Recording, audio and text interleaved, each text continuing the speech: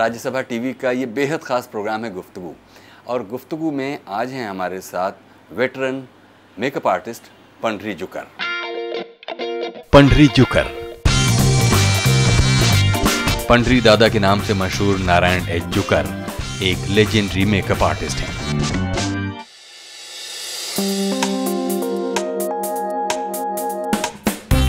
फिल्मी दुनिया की तीन पीढ़ियों का मेकअप कर चुके पंडरी दादा आज चौरासी साल की उम्र में भी मेकअप के काम से उतना ही प्यार करते हैं जितना उन्होंने पहली बार वी शांताराम का मेकअप करते हुए महसूस किया था।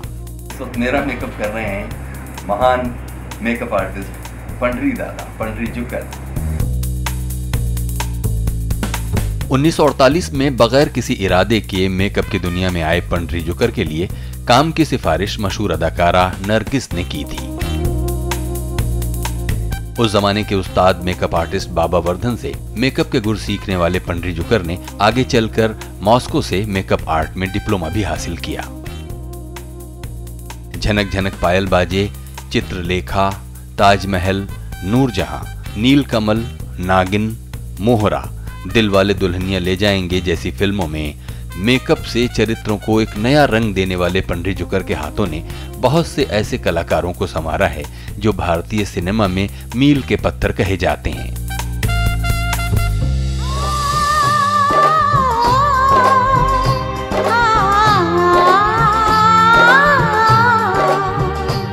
सेहरा सजा के रखना, चेहरा छुपा के रखना, सेहरा सजा के रखना। चेहरा छुपा के रखना। ये दिल की बात अपने दिल में दबा के रखना। चेहरा सजा के रखना चेहरा छुपा के रखना। जो वादा किया वो निभाना पड़ेगा। रोके जमाना चाहे रोके खुदाई तुमको आना पड़ेगा। जो वादा किया वो निभाना पड़ेगा। पंडरी जुकर के सधे हुए हाथों के मुरीद लोगों में मीना कुमारी, दिलीप कुमार, नवाब पटौदी शर्मिला टैगोर, सुनील दत्त, अमिताभ बच्चन, जया भादुड़ी और धर्मेंद्र समेत अनेक अदाकार शुमार होते हैं। पेंटिंग और फोटोग्राफी के शौकीन पंडित जुकर को उनके मेकअप कौशल के लिए अनेक पुरस्कारों से नवाजा जा चुका है। पंडित दादा आ, ये जो मेकअप है मेकअप की दुनिया में आप कैसे आए? ये एक हादसा था वैसे देखा जाए तो कि मेरे आ, मुझे ये लाइन पसंद नहीं थी एक्चुअली लेकिन मेरे फादर को भी लोगों ने कहा ये लाइन बहुत बुरी है करके। लेकिन फादर ने कहा कि अभी उसने चालू किया है। तो जो होता है वो कीजिए तो मैंने 19 1948 में मैंने इसमें पदार्थ ये किया आ, शुरू किया। शुरू किया काम मैंने। और तीन मुझे इतना याद है कि मैंने तीन फेब्रुवरी 1948 में मैंने काम शुरू किया। तीन फरवरी? 1948 और पहला मेकअप आपने किसका कि किया? शांताराम जी का मैंने मेकअप किया पहले और वहाँ से मुझे जॉब मिला। और जॉब भी मिला तो सैलरी हो गई सत्तर रुपये महीना। यानी सत्तर रुपये भी उस टाइम के ज़माने में बहुत अच्छे लगते थे वैसे। और आपने अपने गुरु का क्या नाम बताया? मेरे गुरु जो थे बाबा वर्धम उन्होंने मेरे इस लाइन में लाया कि तो उनको असिस्टेंट की ज़रूरत थी तो वो मुझे लेके आए। उसके बाद बाकी काफ़ी गुरुज हो गए वैसे। एक जिमी वाइनिंग भी थे जिसने जनक जनक पाल बजे में मेकअप किया। उनके साथ भी मैंने काम किया। उसके बाद दादा परांस पे जो माने हुए मेकअप आर्टिस्ट थे जो प्रभात से निकले हुए थे और उनके साथ भी मैंने बहुत ये किया। बाबा वर्धम से आपकी कैसे मुलाकात हुई? बाबा वर्धम कि मेरे पड़ोस में रहते थे और उनका बेटा जो था वो मेरा क्लास फ्रेंड था वैसे स्कूल में था। तो उनकी वजह से ये मुलाकात हो गई। तो और मेरे पड़ोस में रहते थे तो उन्होंने देखा कि मेरी हालत क्या थी। उस हिसाब से उन्होंने मुझे ऑफ़र किया। और जो आप कह रहे हैं कि बाबा वर्धन का बेटा आपका स्कूल का दोस्त था स्कूल में आप पढ़ क्या रहे थे? मैं मैं एक्चुअली पढ़ा बहुत कम पढ़ा हूँ मैं वैसे। लेकिन मैं मेरा स्टैंडर्ड फोर्थ तक मैंने किया एजुकेशन तो लेकिन उसके बाद वो भी मेकअप आर्टिस्ट बन गया था जो बाबा वर्धम का बेटा था। इनका नाम था सदानंद वर्धम करके। वो भी मेरे साथ में काम कर रहा था तो हम लोग मिल मिल के काम करते थे वैसे। हम्म, हम्म। और आपके समय के और दूसरे कौन से मेकअप आर्टिस्ट हैं जो अभी काम कर रहे हैं या जीवित हैं? मुझे नहीं लगता कोई है करके अभी उस टाइम से। क्यों? मैंने जो थे राम तिपनीस वगैरह थे थे सब सब अपने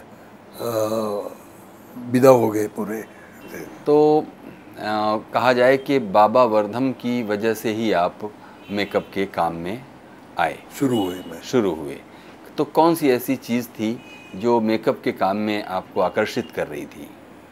नहीं नहीं मैंने देखिए एक ऐसा टाइम था मेरा कि उसमें मुझे किसी जगह पे काम पे लगना ही था तो मैंने ये काम शुरू किया, ओके। और उसके बाद मुझे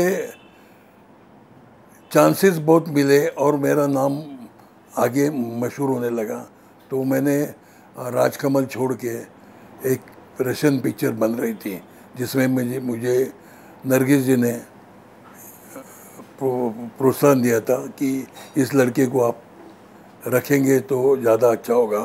तो इसीलिए मेरे ट्रायल्स लिए गए वो भी कारदार एक स्टूडियो था उधर और उसके बाद मैंने राजकमल छोड़ दिया।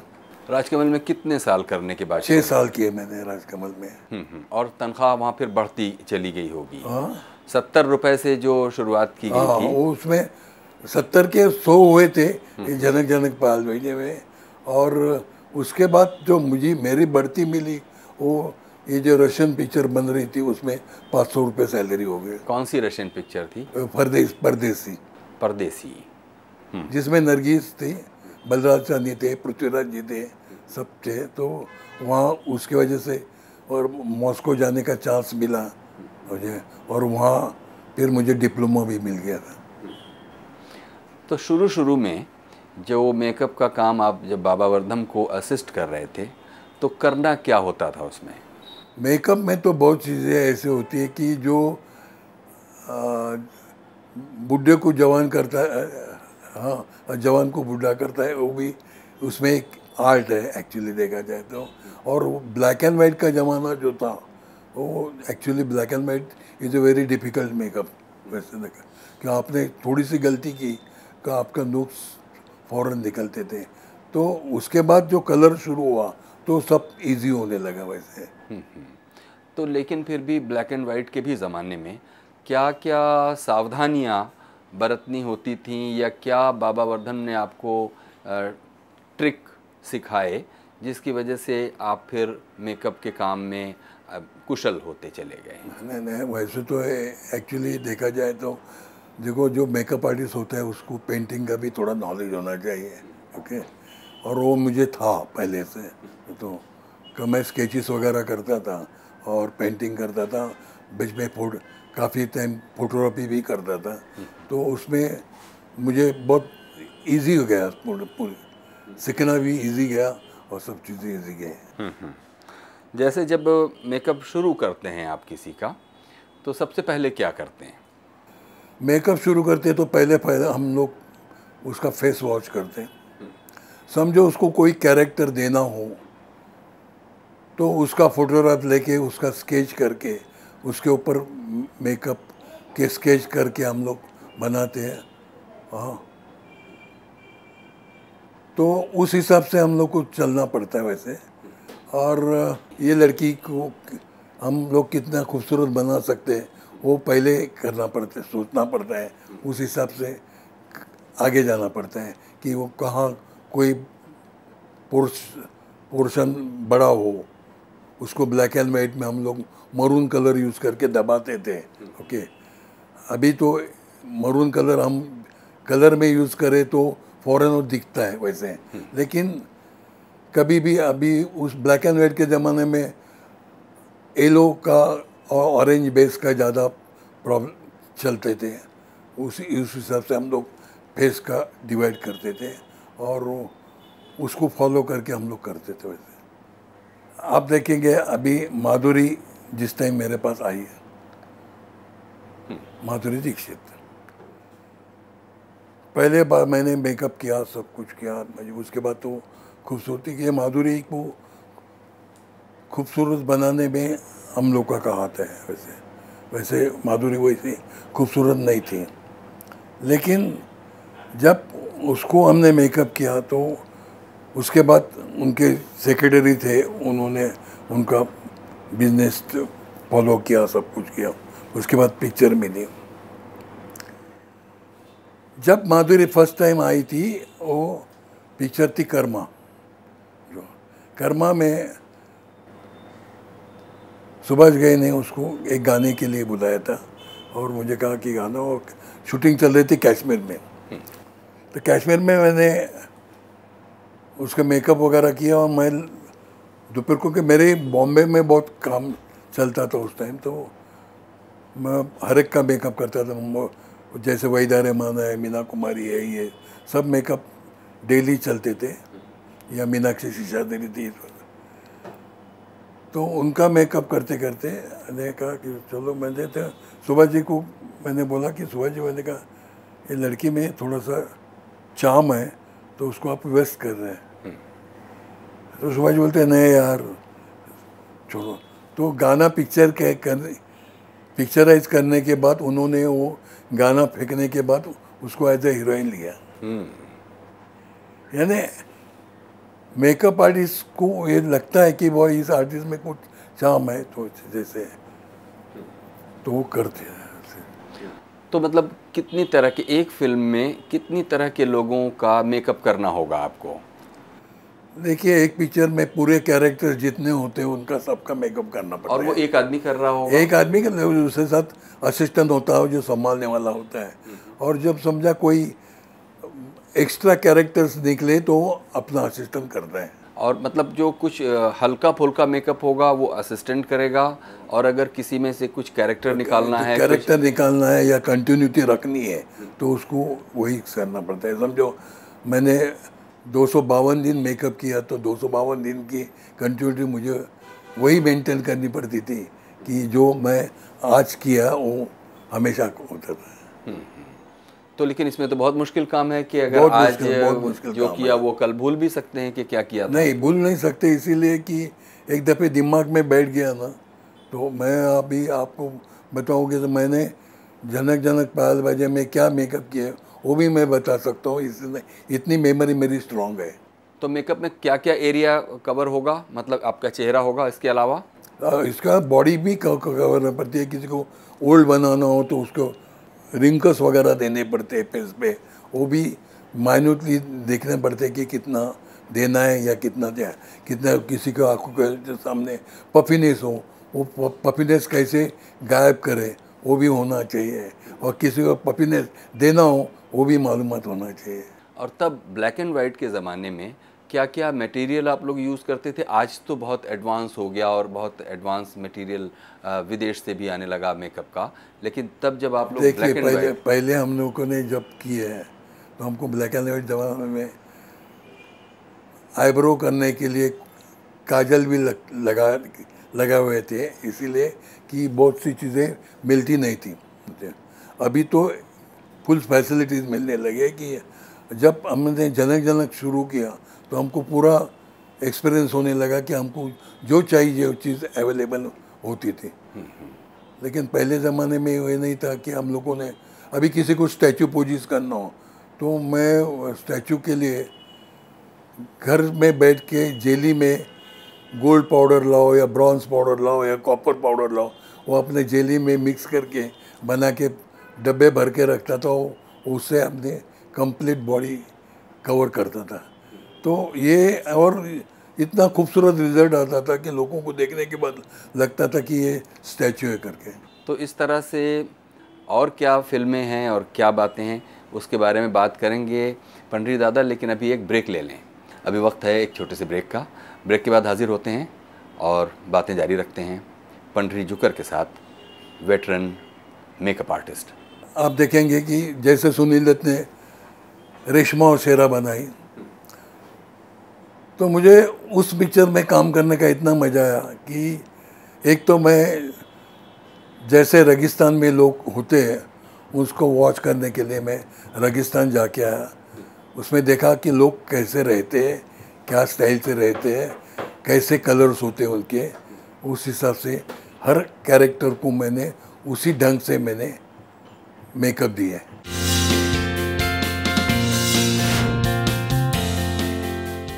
स्वागत है एक बार फिर से। प्रोग्राम है गुफ्तु और गुफ्तगु में पंडरी जुकर हैं हमारे साथ। पंडरी दादा जो कि एक बड़े ही जाने माने मेकअप आर्टिस्ट हैं। पंडरी दादा किन किन फ़िल्मों में अगर बहुत सारी फ़िल्में हैं तो मतलब अब कैसे उनकी कोई लिस्ट तो आप बता नहीं पाएँगे। लिस्ट बताने में अभी देखिए मैंने ताजमहल की नूरजान की सब यानी बड़े बड़े मैथमेटिकल पिक्चर्स भी किए हैं ओके उसके बाद मैंने यश चोपड़ा के साथ 42 इयर्स काम किया। यानी बैनर्स बनाने में भी हम लोगों का हाथ था वैसे ओके बीच में काफ़ी पिक्चर्स ऐसी हुई कि बहू बेगम हाँ या नीलकमल, ये सब पिक्चर्स में बहुत, यानी एक चाम रहा। मैंने एक आर्टिस्ट को खूबसूरत बनाने में लोग बोलते थे कि मेकअप करना हो तो पंडरी दादा से करो। और फिर कैरेक्टर का लाइंस में आ जाओ करके। तो ये शुरू हुआ था। और जब भी मैं काम करता हूँ, कभी भी काम करता हूँ तो सोच के काम करता हूँ इसीलिए कि अपने को आगे क्या करना है, वो मालूमात होना चाहिए। उस हिसाब से काम करता हूँ। तो अगर देखें कि सबसे पुराना नाम तो आपने लिया वी शांताराम का, कि जिनका चेहरा आपके हाथों में, उसके ऊपर आपने ब्रश चलाया या जो भी आपने उस, उसको सजाया या उसको एक फीचर दिया एक कैरेक्टर दिया। ऐसे कुछ और चेहरों के नाम लीजिए। है ना दिलीप साहब भी काफ़ी साल मेरे साथ में थे। यानी पूरे जनरेशन भी देखेंगे तो आप Nawab Pataudi is a cricketer actually देखा जाए तो उसका भी मेकअप मैंने किया था।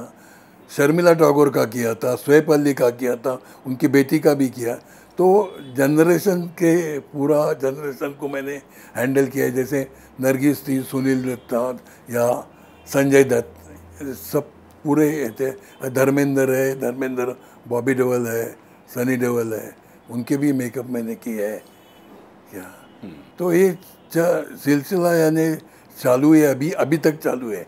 जैसे ऐश्वर्या राय को पहले जो शुरू में यश चौकर पास मैं लेके गया। मैंने कहा यश जी इसको हम हीरोइन लेते हैं करके। तो यश जी ने उसका टेस्ट लिया। उन्होंने ऐश्वर्या ने खुद कंपोज वगैरह किया था डांस वगैरह। लेकिन एक था कि अ, लोग मुझे चाहते थे इसीलिए मैं काफ़ी आगे बढ़ा। जैसे मैंने अपनी एक पिक्चर की थी चार दिल, चार राहें। अच्छा इसके बीच में मैंने जब मैं रशिया से आया तो लोगों ने पूछा कि, अरे, इसको पेमेंट क्या देंगे? तो मेरे, उन्होंने कहा कि यार ये बहुत मुश्किल है। तो सवाल नहीं आता है तो मेरे एक साल में घर में बैठा रहा, आने के बाद। उसके बाद कानून शुरू हुई थी बी आर चोपड़ा की। उसमें नाना पलसीकर जो कैरेक्टर थे, उन्होंने उनकी खुद की दाढ़ी निकाली थी। तुम अपने जुर्म का इकबाल करते हो? हजूर मैंने खून नहीं किया। मैं बेकसूर हूँ। बिल्कुल निर्दोष हूँ माई बाप। अभी रिटेक निकला था। उनको दाढ़ी लगानी चाहिए। तो उन्होंने मेरा नाम सजेस्ट किया कि ये लड़का लग, दाढ़ी लगा सकता है। तो मैंने जाके उनकी दाढ़ी लगाई। और दाढ़ी जैसी उनकी ओरिजिनल थी वैसे मैंने दाढ़ी लगाई। तो बी आर चोपड़ा जी ने मुझे कहा कि हम अब हमारे बी आर फ़िल्म में क्यों नहीं काम करते तुम? तो वहाँ मैंने महीना अढ़ाई सौ रुपये सैलरी पे काम शुरू किया।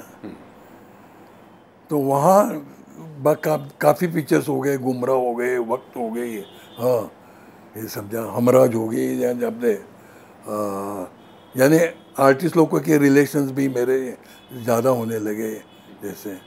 तो उसमें लोगों ने पूछा कि चलो उसके बाद मैंने एक चांस लिया जो ख्वाजा बंदाबा साहब की पिक्चर थी चार दिल चार राहें।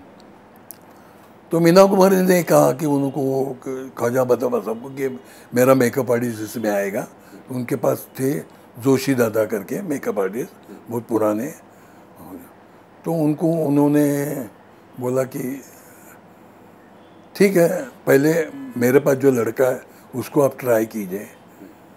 तो उन्होंने कहा कि हर नहीं आप ट्राई करते करके, और उसमें मैं सक्सेस हुआ। और दिखाना था उनको ब्लैक एंड वाइट में ब्रिटिश लुक यानी सावली लड़की जैसे होती। है तो मैंने वो ब्लैक एंड वाइट में भी डार्क कॉम्प्लेक्शन दिखा उसको, और उसमें मैं सक्सेस हुआ। उसके बाद जब तक लास्ट तक मीना कुमारी का मेकअप आर्टिस्ट मैं रहा। और और बताइए जैसे कि आपने नाना पलसीकर की दाढ़ी का किस्सा सुनाया और वो फ़िल्म थी कानून। कुछ और इस तरह के जो लोग बहुत ज़िद करते हैं कि भाई हमको पंडरी चाहिए क्योंकि वो हमारा सही मेकअप कर सकता। है ऐसे कौन लोग थे जो पंडरी क्या ऐसे बहुत लोग थे। अभी सुभाष जी के साथ भी मैंने काफ़ी पिक्चर्स किए हैं। जैसे मनोज कुमार के साथ भी काफ़ी पिक्चर्स किए क्या क्रांति वगैरह सब कुछ यानी पूरी पिक्चर का मेरे ऊपर डिपेंड रहते थे वो लोग और मैं हर आर्टिस्ट का कैरेक्टर बनाता था और क्या बोलते हैं, नाम हो जाता था वैसे। जैसे अभी आप देखेंगे कि जैसे सुनील दत्त ने रेशमा और शेरा बनाई तो मुझे उस पिक्चर में काम करने का इतना मज़ा आया कि बहुत से कैरेक्टर्स वगैरह कैसे होते हैं, वो पहले मैं जाके वॉच किए। उसके बाद कैरेक्टर्स लाने की कोशिश की मैंने हर यानी राखी हो राखी बहुत फेयर थी। उसको भी विटिश लुक दिया, यानी जो ब्राउनिश टोन जो होते हैं मेकअप के, वो किए मैंने। वहीदा जी को भी वैसे ही दिया मैंने। बाकी अमिताभ बच्चन वगैरह थे, उनको भी उसी कैरेक्टर्स को लाने के लिए जैसे लगता था, उसके हिसाब से दे दिए टोन जो, यानी लोगों को लगे कि ये रियल राजस्थानी है करके। ऐसे तो उस हिसाब से करता था, लेकिन एक दिन एक सीन ऐसा था कि सुनील दत्त को गोली लगी हुई है और वो वो एक्चुअली डाकू रहता है। और वो उसने देखा है कि अभी गोली को निशाना जो एक ही होता है कि जब आप फायर देखे तो उसका पॉइजन कम होता है। तो एक सीन था जिसमें सुनील दत्त अपना आगे जाता है। जहाँ सन सनराइज है, और सनसेट है, और वहाँ मून राइज है। वो दोनों में एक शॉट लेना था उसको। तो उस शॉट में मैंने उनको, वो गोली लगाई, गोली का निशाना दिया था। लेकिन मुझे मालूम था कि ये आदमी जो, कभी भी, रियल भी फायर लगाएगा हाथ पे तो उस हिसाब से मैंने सेपेस जो होता है, उसमें मेकअप में एल्बोस्टर सीट लगा के एल्बोस्टर क्लॉथ लगा के वगैरह, उसके ऊपर मेकअप करके वो गोली का निशाना बनाया था। और वो लकीली मैंने उसमें वैक्स यूज़ किया था। वैक्स यूज़ करने के बाद जब कैमरा जब ट्रॉली पे लगा था तो तो कैमरामैन जो था असिस्टेंट कैमरामैन वो बेहोश हो गया गिर के। तो उसको लगा कि वो चर्बी पिघल रही है तो उसको रहा नहीं जाए तो बेहोश हो गया।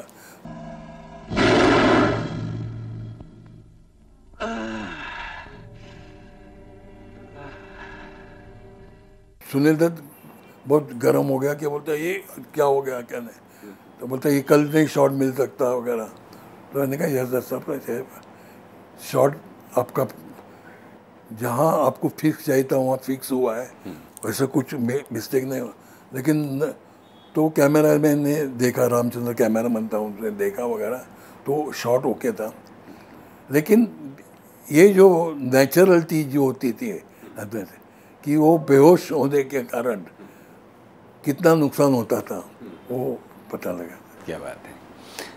पंडित दादा ये जो मेकअप करके उसको बिल्कुल सच के पास पहुँचा देना। आप गोली लगी नहीं है लेकिन आपको ये एहसास कराना है कि गोली लगी है और वो वहाँ से चर्बी पिघल रही है और ये सब आप अपने मेकअप के जादू से किया करते थे। मेकअप के जादू से और क्या करते थे इस बारे में आगे बात करेंगे। अभी एक ब्रेक लेते हैं। अभी वक्त है एक छोटे से ब्रेक का। ब्रेक के बाद हाजिर होते हैं और पंडरी जुकर के साथ बातों का ये सिलसिला जारी रखते हैं। पंडरी जुकर यानी पंडरी दादा वेटरन मेकअप आर्टिस्ट आप यकीन नहीं मानेंगे कि मैं या दिलीप कुमार हो, या संजीव कुमार हो, सब, सबके साथ मेरा एक रिश्ता बना हुआ था। अच्छा रिश्ते में मेरे बगैर खाना भी नहीं खाते थे, ऐसे कभी कभी ऐसे कि बहुत पंडरी दादा को बुलाओ तो हम लोग खाना खाए।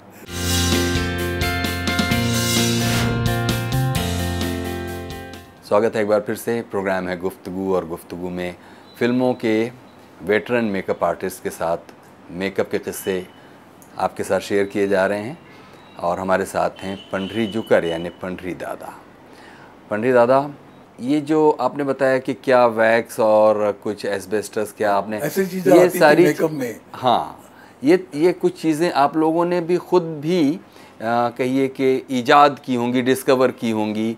क्योंकि बहुत सी चीज़ों का तो कोई फार्मूला नहीं, मिलता नहीं नहीं है वो कैसे करते थे? देखिए एक क्या होता है हम लोग तो कभी आप देखेंगे तो मैं हम लोग थोड़े से सीख भी लेते हैं बाद में कभी बैठ के घर पे चार्ज करते हैं सगैरा अभी आजकल देखेंगे तो आपको किसी को बूढ़ा बनाना हो तो इजी हो गया है। लेकिन उस ज़माने में हमको जब किसी को बूढ़ा बनाना हो तो हम लोग अंडे का जो बलक होता है वाइट हो उसको बॉटल में रह के रख के उसके अंदर यूडिकोलिन डाल के वो यूज़ करते थे तो उसे पूरी स्किन जो अकड़ी जाती थी तो उसमें बूढ़ापन निकल आता था वैसे हाँ।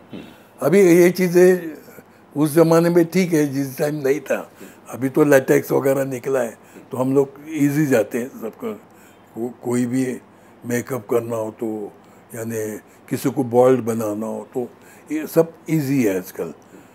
पहले के ज़माने में तो बहुत मुश्किल होता था वैसे। जैसे मैंने अभी आप यकीन मानेंगे नहीं मैंने साई बाबा एक पिक्चर की जिसे मनोज कुमार ने डायरेक्ट की थी। उसमें जो हीरो था जो साई बाबा का रोल कर रहा था उसका मेकअप करने में उन्होंने पहले देखा तो मेरे पास जब आए तो मैंने कहा कि चल मैं करता हूँ करके। अभी जैसे उनको मैंने मेकअप किया, अभी मेरे पास देखा कि साईं बाबा के नाक जो है, वो बहुत ब्रॉड थे। यहाँ। अभी उसको मैं क्या करूँ? तो मैंने अपने एक पाइप लिया, जो रबर का जो गैस का जो होता है गैस में डालने का, वो लेके उसको पॉलिश करके उसको, उसका नाक में डाल के। उसके बाद, यानी हर चीज़ मेकअप में भी मनाई जाती है। वही तो जैसे कि और भी क्या क्या चीज़ें हो सकती हैं, क्योंकि कोई आदमी हो सकता है कि इस तरह का हो कैरेक्टर जिसका एक दांत टूटा हुआ है या कोई कान कटा हुआ है, आँख छोटी है इस तरह के मतलब सिर्फ़ हमेशा ये थोड़ी होगा कि सुंदर आदमी को और भी सुंदर बना दिया जाए या सुंदर औरत को और भी सुंदर बना दिया सिर्फ़ इतना ही तो नहीं होगा। कई बार जैसा कि आपने कहा कि उसको बूढ़े को जवान या जवान को बूढ़ा आ, लेकिन उसके साथ साथ ये जो फ़िज़िकल डिफॉर्मिटीज़ हैं उसके लिए क्या क्या करते होंगे? देखिए दे- नहीं हर चीज़ जो है ना उसका हम लोग पहले ट्रायल्स करते हैं। कि वो किसी को करना है तो किस आइडिया से किया जाए? अभी किसी को कान लगाना हो। अभी आपने एक ऐड आई थी आपको देखा होगा ओनेडा। हाँ। उसमें डेविल करके एक कैरेक्टर वो मैंने शूट किया था। हाँ। तो उसको भी बनाने में उसके कान लगाने हैं हो उस टाइम हमारे पास चीज़ें कुछ नहीं थे तो तो थर्माकोल के कान लेके लगा दिए उसके ऊपर पेंट मार के। किए तो हर चीज़ें ऐसे नहीं कि नहीं होती लेकिन आर्टिस्ट को मेंटेन करना हो तो आपको वो चीज़ें को बनाना पड़ेगा एक कैरेक्टर से। जैसे अभी गांधी बनाना हो तो गांधी के पूरे पार्ट हम लोग आजकल बना लेते हैं पूरे और फिर उसको अटैच करते हैं। हम्म, उसमें क्या क्या है?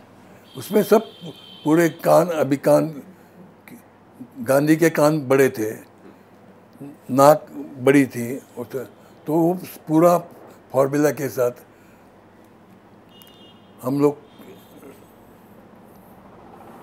उसका मेकअप करते थे और हम लोग पूरे हिसाब से बना लेते थे और उसको फॉलो करके वही रेडीमेड चिपका देते थे काम होता था।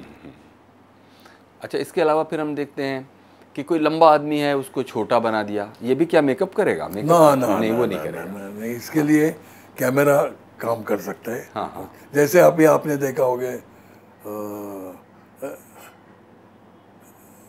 अमिताभ की पिक्चर या आई थी अभी।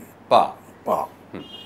पा में उन्होंने मेकअप आर्टिस्ट बाहर से लाया था लेकिन मेकअप आर्टिस्ट बाहर से लाने की ज़रूरत नहीं कि यहाँ बॉम्बे में बहुत मेकअप आर्टिस्ट इतने अच्छे हैं क्या लेकिन उनको चांस नहीं दिया जाता है इसीलिए चुप है। लेकिन पा में उन्होंने अमिताभ की हाइट कम दिखाई। अमिताभ तो बहुत टाल था वो कैमरा वर्क है।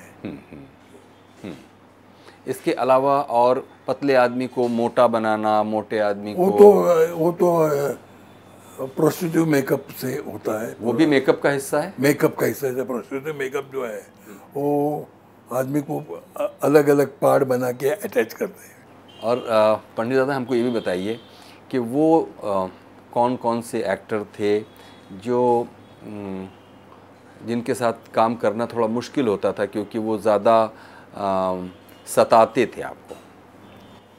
मुझे तो ऐसे कभी हुआ नहीं कि मैंने कितना भी टॉप का आर्टिस्ट हो उसको मैंने संभाला है।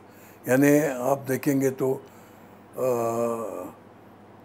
ताजमहल में प्रदीप कुमार था। हाँ फिर अ, बहुत बहुत आर्टिस्ट ऐसे थे कि जैसे दिलीप कुमार के साथ काम करने के लिए मज़ा आती थी। अमिताभ के साथ काम करने के लिए मज़ा आती थी। यानी अमिताभ जब सात हिंदुस्तानी में पहली पिक्चर में आया तो मैं मैं इतना बिज़ी था बॉम्बे में कि मुझे गोवा जाने के लिए चांसेस नहीं मिलते तो मैं सुबह गया उसके पास। और मैंने कहा अमिताभ मैंने कहा मैं दाढ़ी तो लगा रहा हूँ तुम्हारे पास लेकिन इसकी शूटिंग छः दिन चलेगी तो कैसे करोगे? तो उसने कहा डोंट वरी मैं संभाल लूँगा इसके लिए। और उन्होंने मैंने जो दाढ़ी हाथ से लगाई थी हाँ वो छः दिन संभाली है बस। अभी वो वो भी बोलता है कि जैसे किसी का इंटरव्यू हो तो वो बोलते हैं कि मेरे में पेशेंस क्या है? तो आप जाके पंडित दादा को पूछ सकते हैं। और ऐसा कोई अनुभव जिसमें आपको लगा हो कि अरे ये तो कल का आया हुआ लड़का मुझसे ऐसे बिहेव कर रहा है इसके बाप दादों को मैंने तो ठीक कर नहीं दिया। नहीं नहीं ऐसे तो कभी हुआ नहीं। इसीलिए कि मेरे सामने जब आर्टिस्ट बैठता है तो ऐसे बैठता है कि मुझे मालूम है कि ये आदमी क्या करेगा। उसके बाद हम लोग तो एक्चुअली जिसके मेकअप में किसी के गाल बड़े बड़े हो, उसको भी हमने स्लिम तरफ़ से दिखाया है मेकअप में है या किसी की एज ज़्यादा हो गई होगी, उसको एज कम करनी होगी तो भी हम लोग मेकअप में ही करते शेड लाइट से कर लेते हैं। तो मेकअप का जो एक जाम बना हुआ है, उसको हैंडल करके हम लोग करते हैं। तो लड़की भी खूबसूरत बन सकती है और लड़का भी खूबसूरत बन सकता है। अच्छा इसमें क्या क्या चीज़ें इस्तेमाल करते हैं आप? आपके जो प्राइमरी टूल क्या हैं? देखिए उसमें एक्चुअली बेस जो है वो आजकल करेलॉन का आता है। तो करेलॉन जो है वो मैक्स फैक्टर के कंपनी को लेके उन्होंने बनाया है। वो पहले मैक्स फैक्टर आता था। तो करेलॉन जो है वो बेस वगैरह सब कुछ मिलता है या किसी को फेयर करना हो तो इस नंबर का बेस लगा, और किसी को डार्क करना हो तो इस नंबर का बेस लगा। वो इसमें होता है। पाउडर्स के भी नंबर्स होते हैं। लेकिन वो हैंडल करने के लिए पहले ये सोचना पड़ता है कि इसको क्या बनाना है, और कैसे खूबसूरत बनाना है उसके ऊपर। अभी अभी कोई भी ब्राइडल करनी हो हाँ तो ब्राइडल का जो काम है वो खूबसूरत दिखना चाहिए इसीलिए हम लोग तो मैं अभी भी काफ़ी ब्राइडल्स करता हूँ तो वो तो चालू ही रहता है हमेशा। से। लेकिन मेकअप में चीज़ें इतनी बनी हुई है अभी जैसे लेटेक्स बना। पहले वो रबर का मेकअप आता है एक्चुअली उसमें बॉल्स भी बना सकते हैं कुछ भी करा सकते हैं जब हमारे पास नहीं था तो हम लोग बनियान का बॉल बना के उसके ऊपर थोड़ा सा फाउंडेशन लगा के वो वो चलाते थे। लेकिन अभी इतना इजी हो गया काम कि कोई भी लड़के आजकल आज देखिएगा ना आप आप टीवी सीरियल देखते हैं तो आप देखिए आजकल सीता को भी आई शेडोज लगाते हैं लोग तो क्या रही है? यानी किसी को ये नहीं सोचना है कि बाबा अरे ये सीता को आई लेकिन खूबसूरती है उसके लिए वो लोग लगाते हैं और करते हैं। नहीं मैं तो ये भी पूछ रहा था कुछ तो आपने बताया। जैसे कि जब आप मेकअप के लिए घर से निकलेंगे कहीं जाएँगे तो क्या क्या साजो सामान आपके पास होता है? सामान तो काफ़ी रहता है वैसे। ऐसे यानी आप देखिए टोंग से लेके आइनिंग से सब सब दाढ़ी कल करने के लिए वगैरह वो भी लगते हैं। उसके बाद एक हीटर भी लगता है, उसमें ड्रायर भी रखता है। कभी कि- कैप किसी को बॉल्ड लगा तो ड्राई करने के लिए भी वो चाहिए। तो हर चीज़ें हैं, अभी मेकअप में तो काफ़ी चीज़ें आई हुई है। तो सब इजी है, सवाल नहीं है। लेकिन जो हर इंसान का अपना एक ऐसा औज़ार होता है, जो अगर छूट जाए तो वो सोचता है कि अरे मेरा वो वाला सामान छूट गया, अब हम कैसे करेंगे? कोई एक चीज़ ऐसी ये तो यही तो बात बात कर रहा हूँ कि मैं, हमारे ज़माने में, यानी मैं अभी भी कर रहा हूँ तो कोई आर्टिस्ट ये नहीं बोलता कि मेरा सामान छूट गया है तो मेरे पास जो सामान होता है उसमें मेकअप करता हूँ मैं। यानी कभी दिक्कत नहीं आती कि ये मेकअप नहीं हुआ कि अभी कभी कभी आप देखेंगे, मैं किस्सा आपको बताता हूँ, मेरे, आपने पिक्चर देखी होगी, बैजू बावरा। जी उसमें मनमोहन कृष्ण की दाढ़ी थी। वो मैं दाढ़ी कंटिन्यू की दाढ़ी जो थी, बाल लगे हुए थे, वो मैं भूल के आउटडोर गया। आउटडोर जाने के बाद मैं भूल के तो मैंने मेरे जो दादा परास पे थे, उनको कहा, वो पिक्चर कर रहे थे, मैं आशीष कर रहा था। तो मैंने कहा, ऐसे, ऐसी बात हुई। तो उन्होंने ब्लैक एंड वाइट का ज़माना था। इसीलिए जो घास जो होता है ना वो ऐसे एक पेपर के ऊपर निकाले और उससे दाढ़ी लगाई उन्होंने और वो शेड लाइट से उसको दाढ़ी को लेकिन मैंने जब ब्रशेस देखे तो मुझे बिल्कुल डिफरेंस नहीं लगा उसका। लेकिन ये मालूमात होना चाहिए कि अपने को क्या चाहिए कुछ नहीं चाहिए। अभी मैं जैसे एक शूटिंग में अ, ऑस्ट्रेलिया गया था तो मैं एक स्पंज मेरे पास था, वो मैं भूल के गया था। तो मैं स्पंज भूल गया, अभी मैंने कहा वो दाढ़ी, छोटी दाढ़ी लगाई थी जैसे ऐसे वो नेचुरल भी लगनी चाहिए, ऐसे दाढ़ी लगानी चाहिए। तो मैंने कहा, अभी क्या करूँ? मैंने स्पंज तो भूल गया। मैं वही जो मेरे को जो एक पे क्या बोलते हैं उसको हम लोग? ग्रास के पीसेस मिले, उसका मैंने एक पंच बनाया और उससे वो दाढ़ी लगाई तो मैंने दाढ़ी करेक्ट आ गई। लेकिन वो एक मेकअप आर्टिस्ट को मालूम होना चाहिए कि अपना जो है काम उसको कैसे हैंडल करना है। लेकिन अगर देखें तो सुंदर सुंदर क्या है? अगर देखा जाए सुंदरता का क्या आपके लिए खूबसूरती जो है। खूबसूरती क्या है मतलब खूबसूरती जो है खूबसूरती में आर्टिस्ट का स्माइल भी आ सकता है आइज़ के लिप्स भी आ सकते हैं आइज़ की फिगर भी आ सकती है आर्टिस्ट की।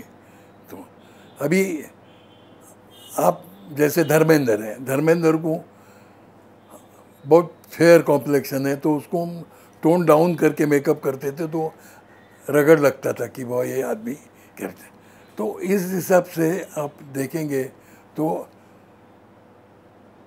खूबसूरती जो है, वो खूबसूरती जैसे नूतन थी। नूतन को आप कोई कैमरामैन किसी जगह पे कैमरा रखे तो नूतन खूबसूरत आती थी। कि उसकी एक फिगर थी, उसका स्किन स्ट्रक्चर था, वैसे वो आते।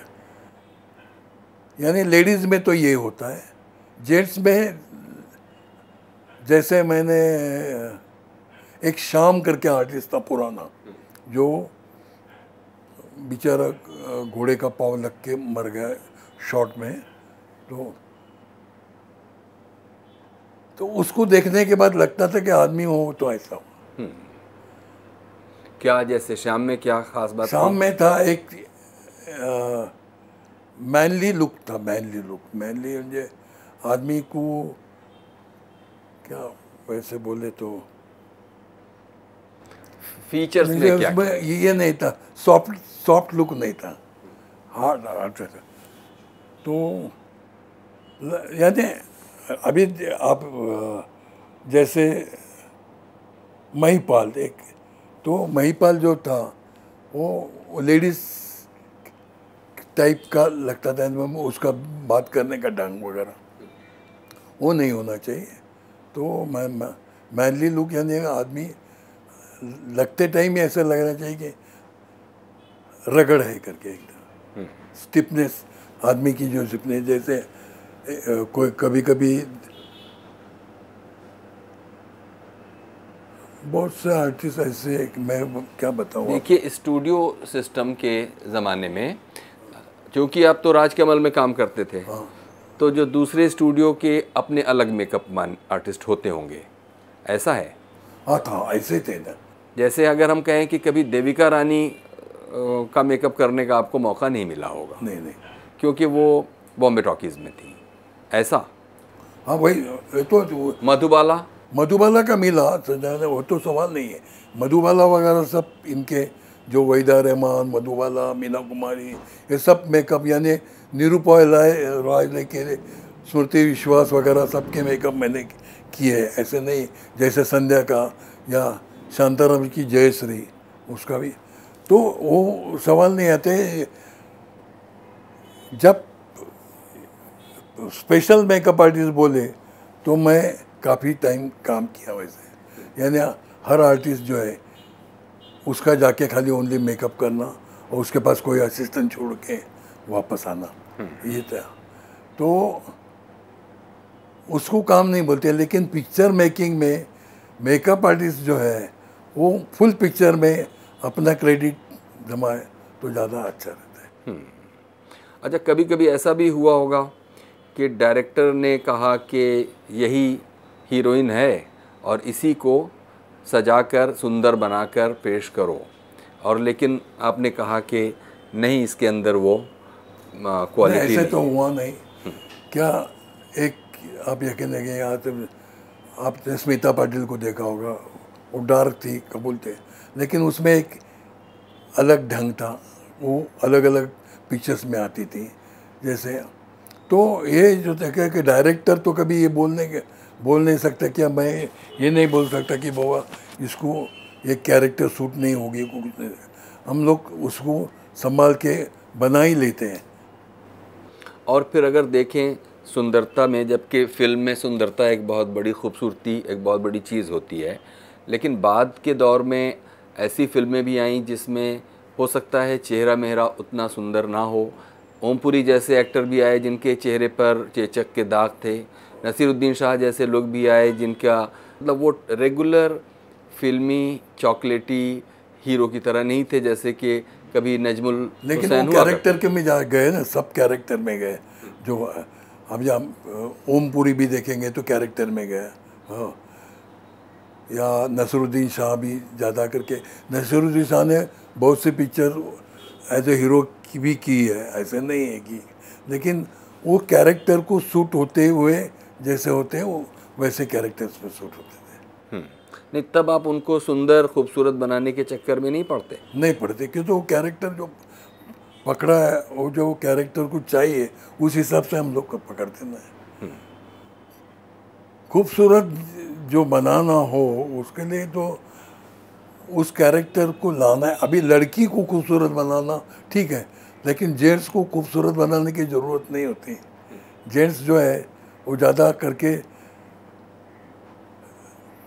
रगड़ ही अच्छा लगता है।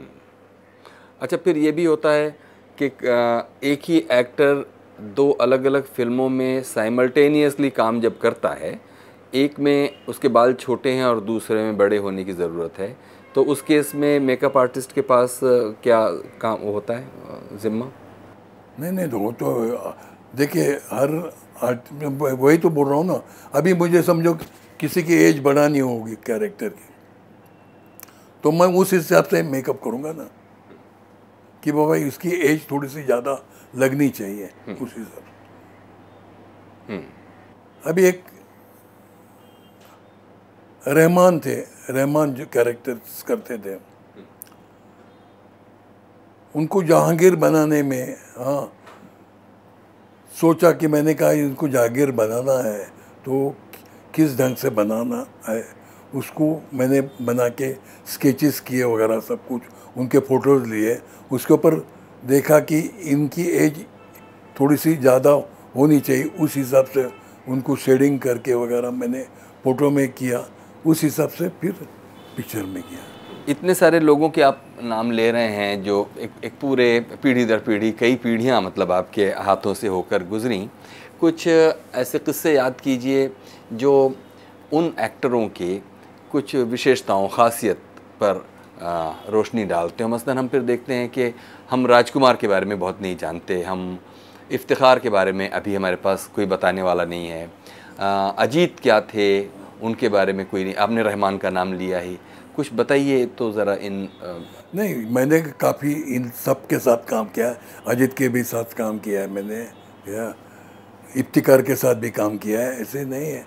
लेकिन वो इफ्तिकार को जिस कैरेक्टर में लाना है वैसे कैरेक्टर पे लाते थे ना। तो इसीलिए बोल रहा कि मेकअप आर्टिस्ट को स्केच करना आना चाहिए। कहने का मतलब कि वो इंसान कैसे थे? आर्टिस्ट तो थे वो सेट पर अपना काम करे। सब इंसान अच्छे थे सवाल नहीं है। कुछ आपके साथ ऐसा हँसी मज़ाक का कोई आ, मौका हर हर आदमी याद है वैसे बोले तो यानी आप आप यकीन कि, प्राण साहब थे। प्राण साहब ऐसा लगता था कि बाहर निकलने के बाद प्राण साहब इजी आदमी पे इतना सॉफ्ट आदमी है क्या? और वो जब विलन बनता था तो उनका रूप ही अलग होता था। तो ये तो हर कैरेक्टर्स लाने में उनका हाथ होता है। वो ठीक है। लेकिन हम आपके साथ पूछ रहे हैं कि ऐसा तो होगा नहीं कि सिर्फ़ मेकअप आर्टिस्ट गया और एक मशीन की तरह काम करके चला एक ह्यूमन रिलेशनशिप भी धीरे धीरे डेवलप होती है मतलब अलग अलग आर्टिस्ट लोगों के साथ। आपके अनुभव में, इन सब लोगों में से सबसे अच्छे, प्यारे लोग कौन से थे जिनको आप अभी भी मेरे साथ तो सभी अच्छे थे। मेरे पास तो आप यकीन नहीं मानेंगे कि मैं या दिलीप कुमार हो, या अपना संजीव कुमार हो, सब, सबके साथ मेरा एक रिश्ता बना हुआ था।